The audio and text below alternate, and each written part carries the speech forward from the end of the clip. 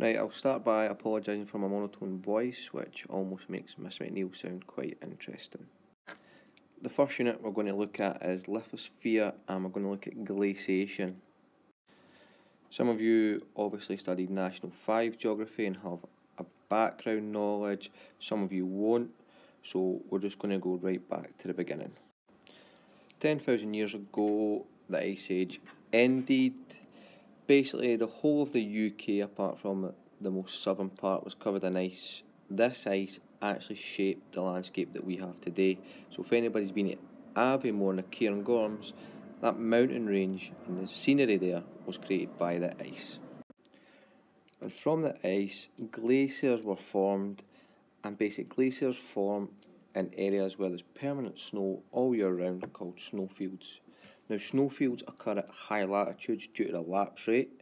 So, for every 100 metres higher you go, the temperature decreases by 0.6 degrees Celsius. Yep. It also happens in northern latitudes, closer to the poles, as those in National 5 know that that affects weather and makes it colder. And north facing slopes, because they don't get any direct sunlight, and that's why if you're buying a house or you've heard of somebody buying a house, most people would like a south facing garden so they can top up their tan. So, glacier forms through the repetition of snow falling, and then as snow falls on top of the last year's snow, it starts to squeeze the air out of it. Yep, and as the air is squeezed out of it, it becomes more compact and solid, forming névé. Yep, over 30 to 40 years, this process repeats, and then we've got glacial ice forming. This glacial ice, yep, is very similar to if you're making a snowball, and the more you squeeze and compress it, the more solid it becomes. It starts to turn into ice, and that's the process that the glacier takes. Now, because of the weight of the ice, it can start to move downhill because of its weight and gravity. Now, most of you should know that ice is solid, so this huge solid river of ice actually moves down a hill, and it does that through gravity, internal, internal deformation, which is each ice crystal that can actually slide across each other. Basal melting, yep, what happens is Due to the friction at the bottom of glacier, the ice begins to melt, and then that lubricates the rock, allowing the glacier to slide much easier.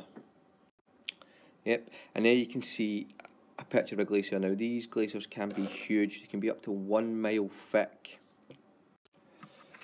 So, there is three zones in a glacier. There's a zone of accumulation, which where the névé builds up, and we get features like cirques or corries, arêtes and pyramidal peaks and as the process process of frost shattering occurs here and we're going to look at that uh, later on. They've got the zone of flow which is where the glacier actually moves yep and there's more processes and there's other features there that we're going to look at in the next couple of videos and then there's a zone of ablation which is where the glacier melts and evaporation occurs and we're going to look at that further in this unit. So what I'd like you to do is copy this diagram down. The glacier needs input, so your precipitation is your snow. Yep, avalanches which add snow onto the different layers, and then as the glacier moves, you've got outputs through evaporation, you've got icebergs breaking off the front of the glacier, and you've got meltwater where the glacier begins to melt.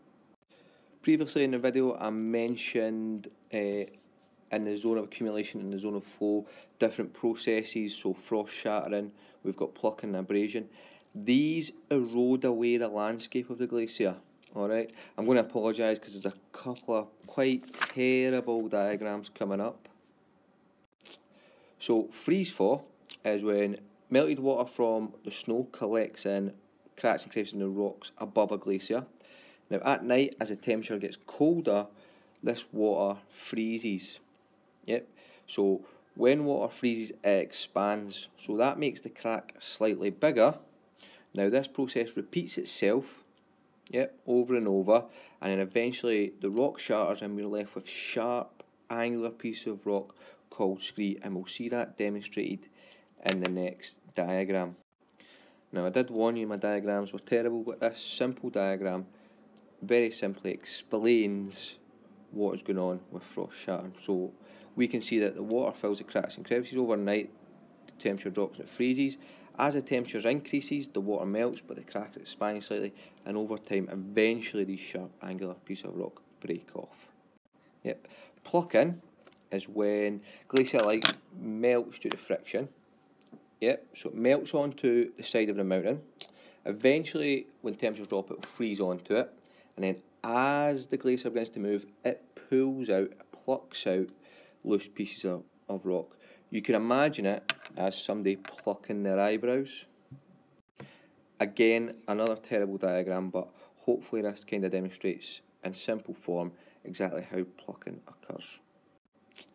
Abrasion is like the sandpaper effect, yep. So any rocks that are plucked off or picked up underneath the glacier, yep, as the glacier moves, these rocks act like sandpaper and smooth and deepen uh, the valley. Yep. And then rocks that can't be moved are scratched, polished, and smoothed, and eventually they're worn away. If you imagine you're sanding down a piece of wood, this process of abrasion is very, very similar. Again, another terrible diagram, but this is demonstrating that as the rocks underneath the glacier abrade, the valley gets deeper. Yep, and on certain rocks you can see striation marks, so these scratches indicate that there's rocks under the glacier that are being dragged along. Alright, now a couple of tasks for you to do, and then hopefully you'll move on to the next video and you'll learned something.